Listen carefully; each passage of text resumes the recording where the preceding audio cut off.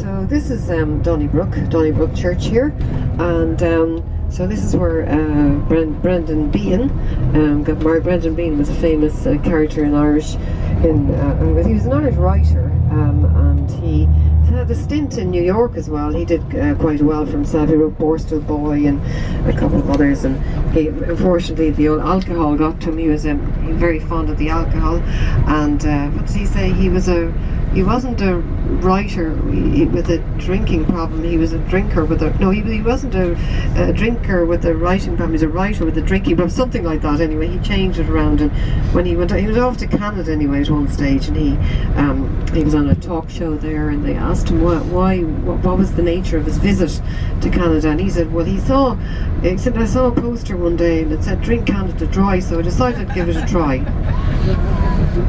So um, some of his writing